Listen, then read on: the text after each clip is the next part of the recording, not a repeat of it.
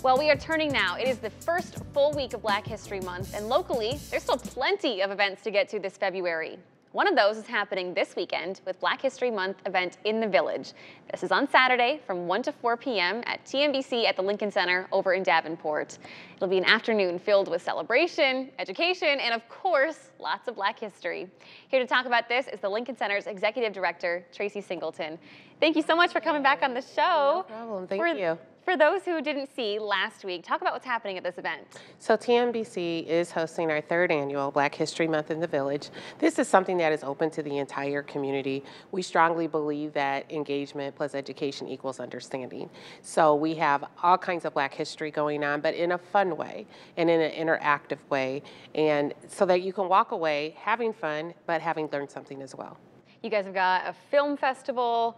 You got book giveaways. What else is going on? Make it, take it activities, um, interactive invention stations, and we also have a group of leaders in our community that are sharing how they grew up wanting to be what they are now and how they can encourage kids to do the same. I just think of this as a great opportunity for people of all ages. Oh yeah, for sure. The perfect Saturday event. Uh huh. Exactly. But you guys have another perfect Saturday event coming up. You got yes. the Black Business Expo on the 24th. Yes. How many vendors are going to be there this year? Um, we did early bird registration, and just at that alone, we had 25 sign up. Wow. Um, we typically get between 50 and 60 vendors at the event, um, so we are definitely looking forward to that. This is our ninth year, um, so people are aware of it and they look forward to it. They put it on their schedule. If they haven't heard from me, they're reaching out to me asking me like, hey, when is registration? When is the expo? So we are definitely looking forward to one of our bigger ones. Yeah, talk about that. How have you seen this grow the last nine years? Oh, gosh, the first year we had like 10 vendors and maybe 100 people. But I was so excited because I didn't even realize. I'm like, oh, we have 10 black owned businesses here in the Quad Cities. Um, a lot of people don't have brick and mortar. They're providing a service or they're working from home, home base.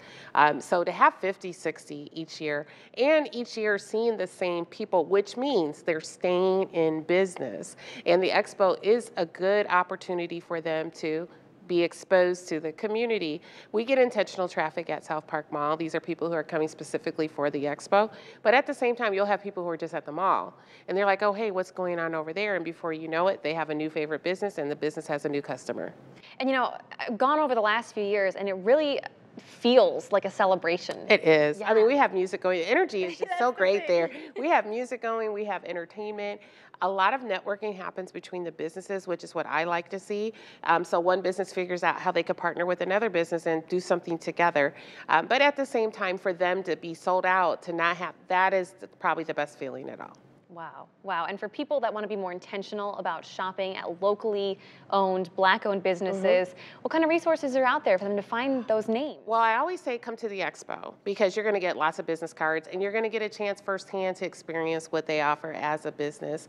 But we have our restaurants and there is an effort um, to put together a directory that should be available by the summertime that is a comprehensive listing of all black owned businesses in the Quad Cities. That is so cool. We're looking forward to that. Yes. Tracy, thanks for stopping by. No, thank you for having us. For you guys at home, once again, Black History Month event at the Lincoln Center is happening this Saturday from 1 to 4 p.m. And then the annual Black Business Expo will be Saturday, February 24th. We have more information on both of those events on our website, WQAD.com. Just click on the As Seen on TV tab.